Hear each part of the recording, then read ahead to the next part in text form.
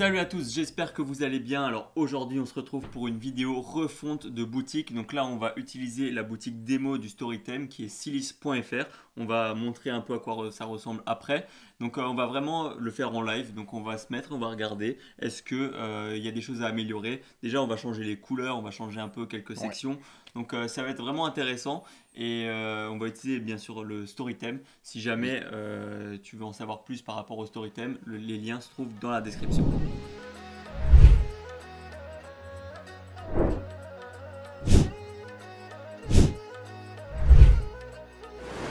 Avant de rentrer dans le vif du sujet, je pense que c'est important de se présenter, euh, parce que qui on est pour faire une refonte d'un site? Alors nous, on s'appelle Théo et Léo, on est e-commerçant depuis 2019. On a créé le Storytheme, qui est un thème Shopify, dans la même année, en 2019 également. Et depuis tout ce temps-là, ben, on le développe jour après jour, grâce au retour de la communauté, grâce au retour des utilisateurs. Et maintenant, ça en est devenu un thème Shopify Premium, qui est disponible en abonnement ou en paiement unique comme tu, comme tu le souhaites. Et puis, euh, je pense que dans tous les cas, dans cette vidéo, tu auras un très bon aperçu sur le story theme et plus généralement sur tout ce qu'il faut mettre ou, faut, ou il ne faut pas mettre sur un site e-commerce. On peut commencer par aller sur euh, Silis, du coup, pour voir à quoi ressemble l'actuel Silis. Oui. Je te laisse faire une petite euh, présentation. Alors ben là, on a, on a, on a Silis concrètement, hein, avec la bannière en premier plan. Il y a beaucoup d'espace vide ici. Je trouve que c'est de l'espace qui est un petit peu gâché. Donc on va essayer de résoudre ça. Euh, après, il y a quand même une bannière qui est dynamique ici avec les petits sliders, c'est assez cool. Le menu est petit, on va voir si on le changerait pas. T'as un écran aussi qui est très grand, faut, faut le préciser. Ouais, j'ai un écran 16 pouces. Après, euh, après 16 pouces, ouais, ça, va. À la limite, on fera un petit tour euh, sur mobile après. Là, le marquis, enfin la section déroulante, elle est, elle est très bien. Petit image texte, petit avant-après également, du Storytime, ça c'est très cool. un bundle où en un, un clic on ajoute tous les produits au panier. La section d'avis, qui d'ailleurs est mal traduite ici. On a oublié de traduire. Euh, les questions fréquentes, les icônes et un petit footer. Je pense que, je pense que c'est cool. Si maintenant on va vite fait sur une petite page produit pour voir à quoi ça ressemble. On a des offres, un crayon de plus à offert. Euh, faudrait voir si on peut les mettre en forme, celle-là. Et puis après, euh, on a la section d'avis. Il faudrait voir si on n'ajouterait pas encore une ou deux sections en plus, genre un bundle, encore une fois, avec tous les produits en bas. Pourquoi pas donc on va essayer de faire ça tout ensemble euh, dès maintenant dans cette vidéo. Genre aussi l'icône recherche qu'on peut dégager, on n'en a absolument pas besoin. Les comptes clients qu'on peut désactiver, on n'en a pas besoin non plus. Euh, ouais, on va, voir tout ce qu'il y a à faire au courant de cette vidéo. En tout cas, ça va être sympa. Première chose qu'on fait, on va sur notre dashboard et on duplique le, bah, thème qui est actuellement publié. Comme ça, on part de la base euh, actuellement existante. Sans perdre pour autant le, thème, le, site actuel. Ouais, bien sûr. Comme ça, on peut faire les changements. On garde tous les tests, on garde tous les visuels. Ouais, voilà. On fera des changements sans que ça impacte directement le site qui est publié parce qu'il y a des visiteurs qui, qui arrivent dessus. Parce que vu que c'est une boutique démo, euh, il y a pas mal de gens qui, qui, vont voir un peu à quoi ça ressemble. Donc euh, c'est parti. On va directement le renommer. En vrai, c'est une good practice à faire. Hein. On va l'appeler refonte. Le nom, on s'en fiche un peu, mais au moins, voilà, on sait que c'est ce fichier-là qu'il faut modifier. Parce qu'après, on se retrouve avec plein de copies, de copies, de copies. Ça devient euh, assez, assez saoulant. C'est clair. Donc, on ouvre l'éditeur dans un nouvel onglet. Et puis là, ben, on atterrit sur l'éditeur de thème du StoryTheme. Alors, la première chose à faire, c'est toujours d'aller dans les, dans les paramètres de thème, dans les réglages de thème, et modifier un petit peu les couleurs. Là, déjà, on en verra, beau, on verra une grosse différence sur, euh, sur le, changement des couleurs. Donc là, on a des couleurs qui tirent toutes vers le vert, le vert euh, jaune-beige. donc, nous, ce qu'on veut, c'est plus partir sur des, sur des couleurs très sobres, très euh, terre à terre, entre guillemets, donc noir, gris, blanc. Et à la limite un petit peu de vert pour la couleur d'accent. Genre la couleur d'accent, là, on va pas la toucher. Pour les titres, on va laisser en noir. Pour les textes, on va mettre un gris très foncé. Euh, comme ça, il y aura quand même une démarcation entre les titres et les textes.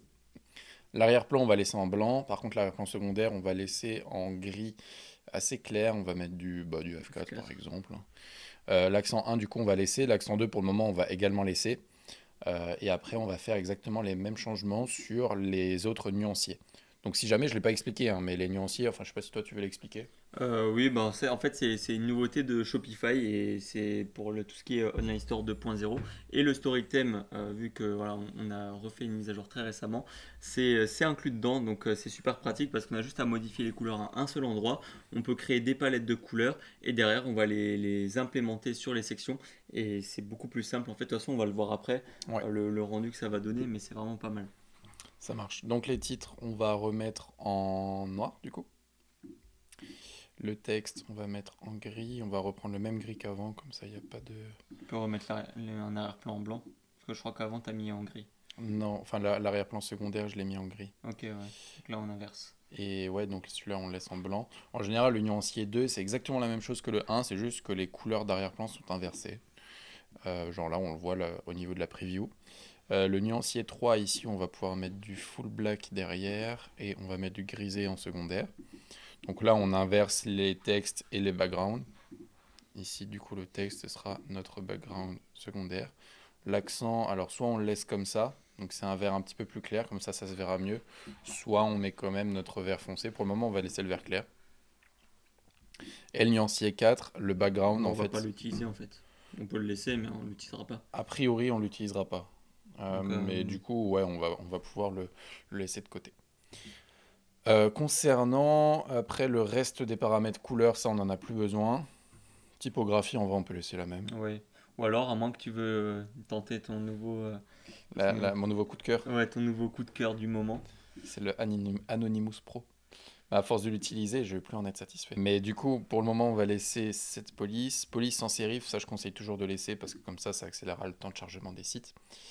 Euh, tac. Si maintenant on descend, il n'y a rien de très pertinent pour le moment. Ouais, on laisse les, les bordures comme c'est, on laisse tout comme c'est, je pense. Ouais, on laisse tout comme c'est.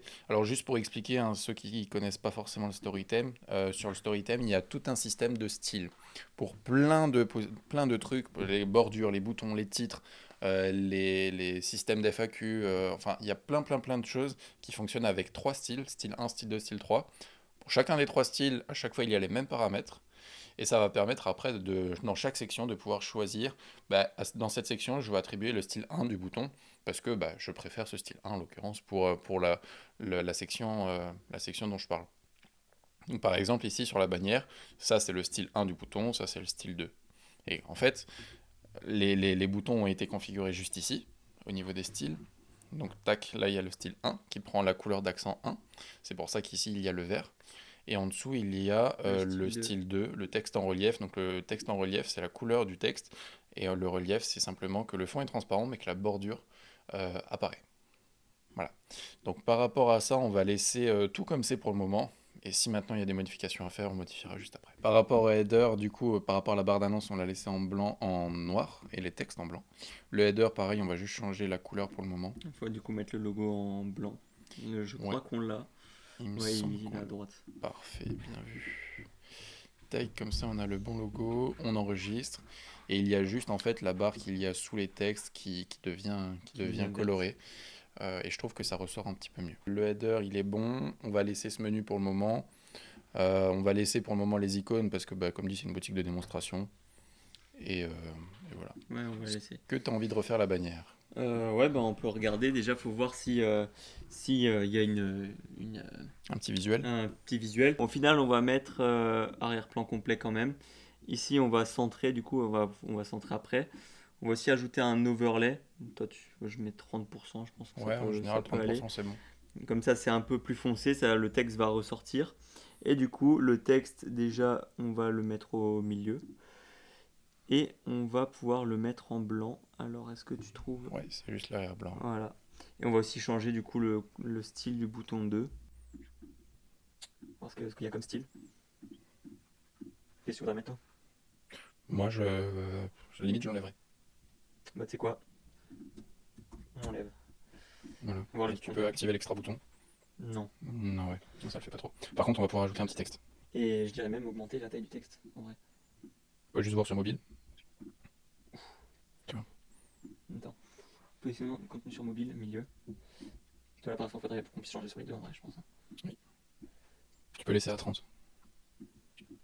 Parce que là, c'est sur très très très peu. Ouais, Donc, euh, voilà, je pense qu'on va laisser comme ça.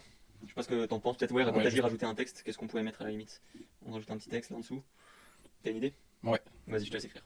Si vous n'avez pas d'idée de texte, comme c'est un petit peu notre cas, en vrai j'ai menti, euh, on peut ici cliquer sur générer un texte.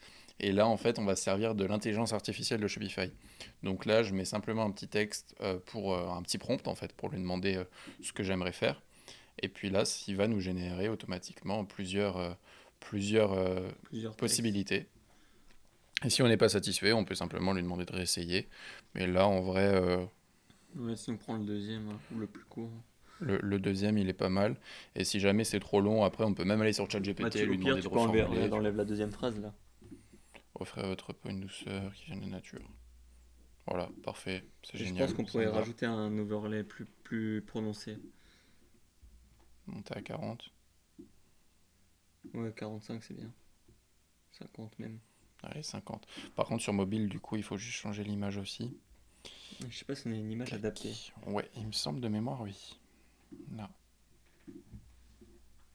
Voilà, parfait. Eh, t'as vu ça un peu? Là, je trouve qu'on est déjà sur un, un début de site qui est beaucoup plus convaincant que celui-là d'avant. Il faut faire quelque chose pour cette euh, section marquis là. Tu veux modifier la section marquis? Alors, Est-ce là, que c'est- je veux la modifier? Non, fais-le toi. Mais euh, je pense qu'on peut la modifier parce que déjà là ça va plus avec la couleur. Ouais, bien évidemment. Et même le, le- les petits nuages comme ça. euh, Ouais, non, on va les, on va les enlever. Alors, ce que, ce que je pense qui va être bien, euh, c'est limite d'enlever carrément la section marquis, le Alors- part. ou, là, ou alors de la mettre en fond blanc. Si on la met en fond blanc, après, ça va permettre d'introduire le restant du site.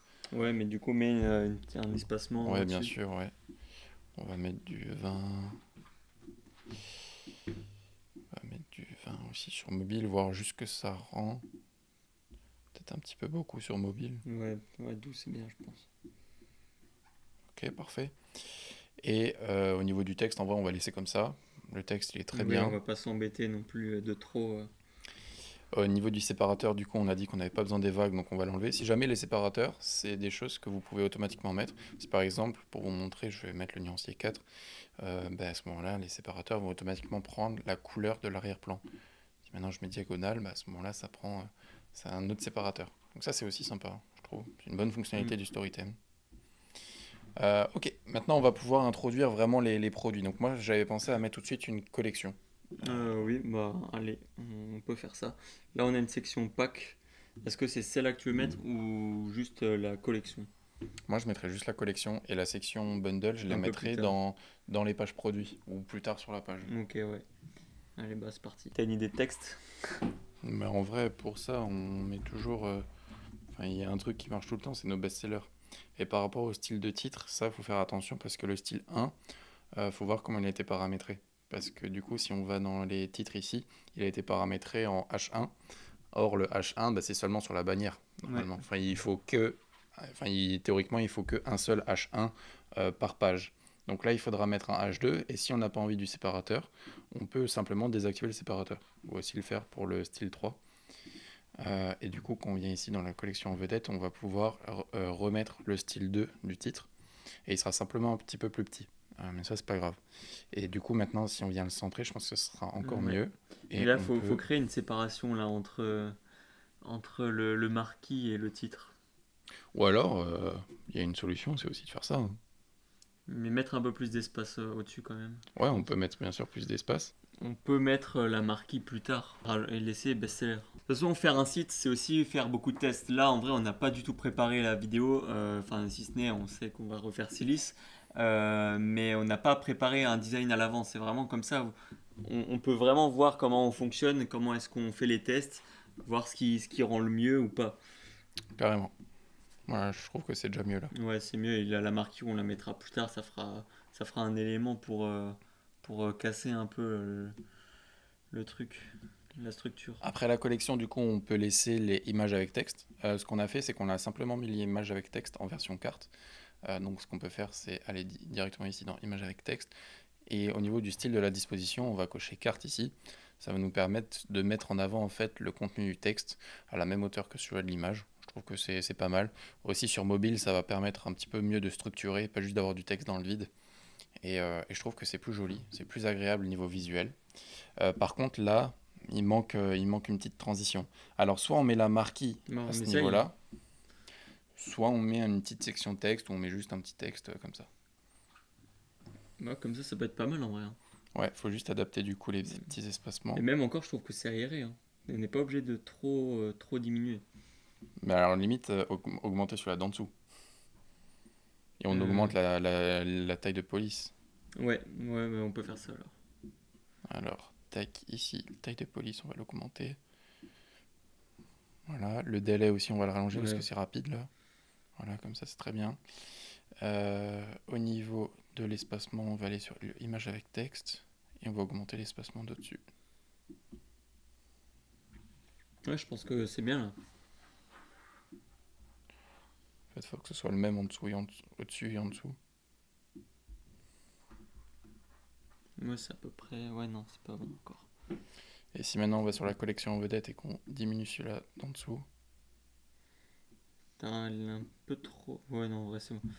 Là, ouais, de toute façon, comme ça on est bon. là. Ouais, pour la vidéo, on va pas non plus euh, chipoter au pixel près. Mais en vrai, c'est important. Et au moins, vous voyez que bah, il faut que ce soit cohérent. C'est important de prendre de temps là-dessus. Après, bien sûr, vérifier sur mobile. Là, on voit que sur mobile, euh, on est trop, trop élevé sous les produits. Le texte mobile est un peu grand. Ouais, le texte mobile est un peu grand. Tac, est-ce qu'on peut le modifier? On peut pas le modifier. Donc là, tu vois, typiquement, dans une nouvelle mise à jour, euh, dans la prochaine mise à jour, c'est bien d'avoir taille de police euh, bureau et taille de police mobile. Ouais. Et comme ça, on pourra le diminuer. Parce que là, c'est vrai qu'il est un petit peu grand. Donc on va surtout principalement faire en fonction du mobile. Parce que c'est là où il y a la, bah, la majorité du trafic. hein. Ouais, Voilà. bon, tu sais quoi, on laisse comme ça. hein. Voilà, on laisse comme ça. Parce que sur bureau, ça passe. Ça pourrait être plus grand, mais ça passe comme ça. Mais au moins sur mobile, c'est bien optimisé. Et ça, c'est l'essentiel. Ensuite, au niveau du texte, comme ça, on va pas toucher. L'image, elle est très belle. L'avant-après, on n'aura pas mieux, malheureusement. Ça aurait été bien d'avoir des visuels un petit peu plus grands en, en termes de hauteur. Mais, euh, mais en vrai, comme ça, c'est très On bien. peut mettre l'effet, le, le- les cartes aussi. Ouais, Dans un euh, souci de cohérence. Ouais, bah carrément. J'attendais limite que tu le dises. Euh, tac. Je suis sur le avant-après. Carte. Voilà, en vrai, on est pas mal. là. On enregistre. Et du coup, au niveau des espacements, là, il faudrait que ce soit le même espacement qu'entre les deux. euh, qu'entre les deux. Les deux sections? Pas entre les deux sections, qu'entre les deux éléments d'une même section. Comme ça, ça fait comme un espèce de quadrillage. Et c'est plus cohérent aussi comme ça. Donc si maintenant on va sur l'image avec texte, en dessous, on va le diminuer. Ok, je vois ce que tu veux dire. Tu vois? Comme ça, ça fait un quadrillage et c'est plus harmonieux. Sur mobile, là, on peut laisser un petit peu un plus grand espace parce que comme ça, on voit bien la différence entre les deux sections. Ok, là maintenant il va falloir changer l'arrière- l'arrière-plan. Là, ouais, là, il faudrait effectivement changer l'arrière-plan. Je pense qu'effectivement, c'est mieux. Je sais pas si tu avais des idées. Hmm, Non, en vrai, euh, peut-être en noir, hein, on teste. On peut tester. Alors, faut toujours enregistrer sur des sections comme ça. Ouais, on enregistre, on attend 3 secondes et puis comme ça, on voit bien le rendu. Alors le noir, je trouve que c'est vachement tape à l'œil. hein. Après, on peut mettre un noir plus. T'as quand même mis un noir, noir, noir. Non, mais je veux dire, le problème, c'est que tu as les images produits qui sont en blanc. Ah Donc ça, ça ressort, il y a un très très gros contraste. Ça fait mal aux yeux. Ou alors, on masque carrément cette phrase et on active l'extra bouton. L'extra bouton, là, il y a beaucoup de, de moyens de paiement. Mais si maintenant on vient le personnaliser en cliquant sur ce petit lien, c'est dans la catégorie bouton, on descend tout en bas. Ici, dans l'image, on vient mettre euh, les moyens de paiement. Et ben à ce moment-là, oui, vrai, on peut, on peut enlever le texte. Et à ce moment-là, comme ça, ouais, effectivement, on enlève le texte. Tac, sur le petit pack. Et on enlève carrément le texte. Voilà, comme ça c'est bien. Et maintenant, je vais tester une dernière chose sur un séparateur quand même, mais celui-là de la ligne. À ce moment-là, on la voit même pas trop. Ouais. Voilà, pas la peine. Enregistrer et ça sera très bien comme ça. Perfect. Euh, je sais pas si tu vois, mais autour des, des textes et autour des images, il y a une espèce de bordure beige. Ouais, On va essayer de la dégager, je te propose. ouais, ouais, ouais. ouais. On va fermer le dans les bouton. bordures, je pense. Donc, conteneur de médias. Alors, on va pouvoir laisser un petit arrondi. Je trouve que c'est sympa. Par contre, la bordure, on va mettre pas de bordure. Vous voyez, encore une fois, c'est trois styles. Mm. et conteneur de contenu. Conteneur de contenu. Ok pour le bundle. On est bon à ce niveau-là. Moi, je mettrais la section d'avis. On la touche pas, la section d'avis. euh, mais on la, on la met en blanc. Comme ça, le bundle ressort vraiment du, du reste. Ça me va carrément. Euh, tac, on descend, on descend, descend. Nuancier, nuancier 1. Et pareil pour les Ok. FAQ, du coup, ils mettent des espacements. Ouais, alors les packs, au niveau des espacements, on est comment? On est bon, on va juste diminuer celui-là du bas. Alors même si c'est théoriquement le même espacement, euh, niveau rendu visuel, ça, ça... Des fois, il faut l'ajuster manuellement. Donc là, on est bon. Là, tu peux juste modifier le batch free. En vrai, tu peux mettre gratuit. Ouais. Donc ça, tac, faut juste monter un petit peu. Et il est gratuit, offert même. Boum, voilà. Pour l'achat du 3 pack, euh, pour l'achat des trois produits, l'épilateur est offert. Et c'est parfait. Maintenant, on ajuste juste les, les espacements. T'étais en bas. Voilà, L'espacement. Voilà, la même chose pour le. Pour la FAQ Pour qui est juste en dessous, je vais juste traduire ici. Ok pour la FAQ, et du coup, toi, tu avais dans l'idée d'ajouter une newsletter. Ouais. Alors moi, je te propose même de l'ajouter au pied de page, comme ça, elle Ouais. sera présente sur toutes les pages. Mais au-dessus des icônes, je dirais. Ouais, au-dessus des icônes, ouais, carrément. Euh, comme ça. Ouais, clairement. Sans, sans toucher. La, la- la section newsletter, elle est très bien. Voilà, on va juste la traduire, du coup, et Ouais. après, ce sera bon. Donc là, la newsletter est mise. On a mis aussi, enfin, on a fait quelques modifications dans le footer. On a enlevé la newsletter parce que si elle est déjà là, pas, Ouais. pas la peine de la remettre. Euh, moi, je te propose qu'on regarde s'il n'y a pas des sections qu'on pourrait ajouter en plus. Parce qu'il y a quand même pas mal de sections sur le Storytime. Ouais. Et ce serait bête de ne pas les utiliser. Et faut pas oublier que c'est un site de démonstration. Et en théoriquement- plus, euh, ouais, c'est un site de démonstration. Donc, euh, on a tout intérêt à mettre euh, plus de, de sections. Euh, diaporama, mais on n'a pas trop de visuels. Non, diaporama, Donc, ça sert euh, pas à grand-chose. Euh, une vidéo si on en avait une. Ouais, On a mais... peut-être la vidéo euh, fumée noire là. Ouais, mais Fumée blanche. je pense pas que ce soit très pertinent. Des articles de blog, mais on n'en a pas. Ça, on en aurait bien mis aussi, je pense. Oui. Euh, Après, tu peux regarder, peut-être qu'on en a deux tests. euh,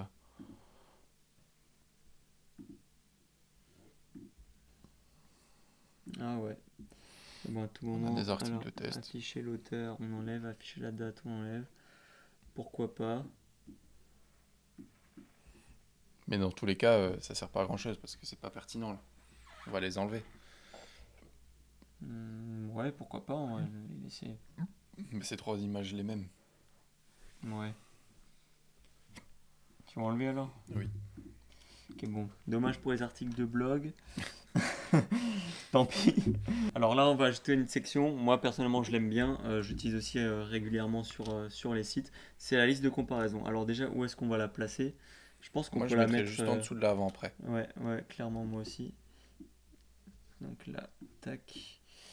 C'est Ouais. utile d'avoir des sections avec un fond euh, coloré.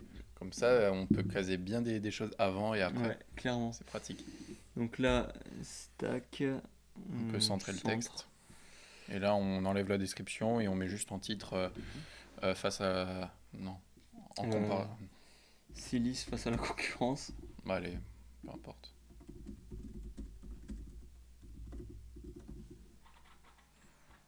Voilà, description, on enlève. Et là, on va mettre bah, le avant-après. Hein. Euh, Silis. Les autres. Les autres. Euh, là, bon, euh, je sais pas si t'as des idées, toi. Naturel. Alors, en vrai, c'est pas mal, là, le, le rendu là, que ça commence à, à donner. Ouais. Est-ce que tu vois d'autres choses pour l'instant? Pas forcément, non. On pourrait à la limite, bon là il n'y a pas de compte Instagram pour, ce, pour cette boutique, mais on pourrait mettre limite euh, une section euh, InstaFeed, Ouais. enfin l'application InstaFeed qui est gratuite. Euh, mais sinon c'est assez correct. Après pour les pages produits, est-ce qu'on les modifie? Qu'on Bah, déjà, la page collection.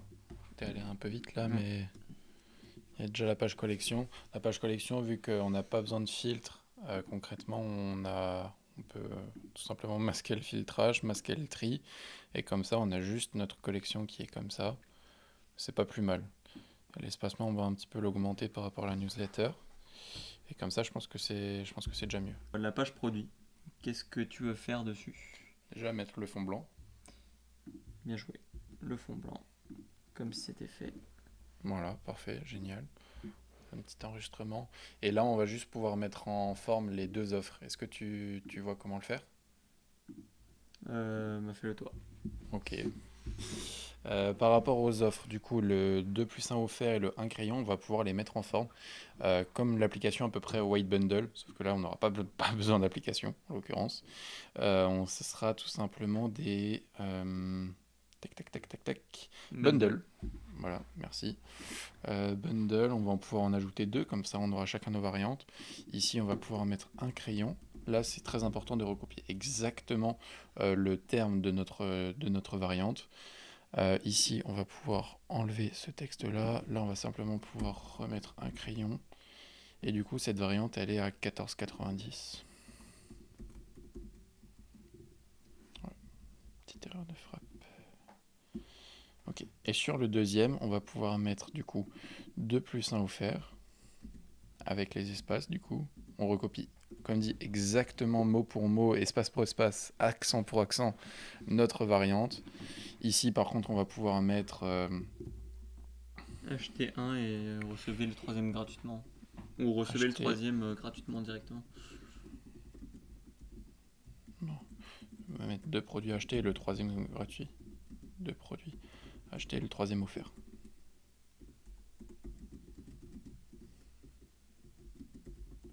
Voilà, parfait. Ici, on est 2 plus 1 offert. Et là, du coup, on est sur 14,90 x 2, ça fait 29,98 au lieu de 29,80. Au lieu de 34,97. 80, non, 70 du coup. Au lieu de 34, 70. Tech, parfait.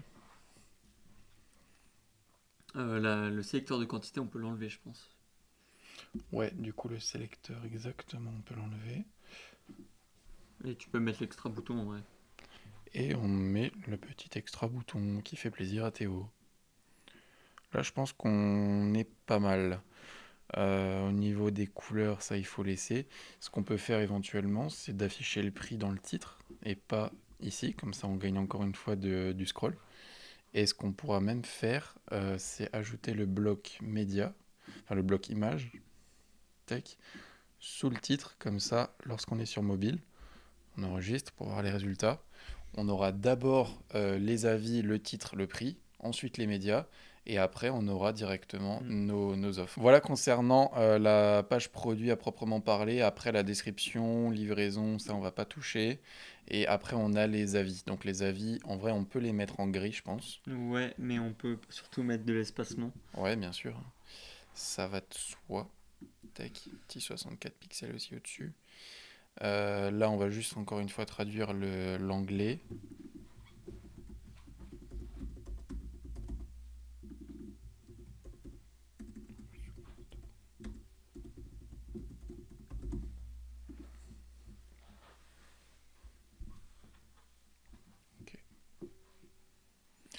Aussi mettre un, en vrai un...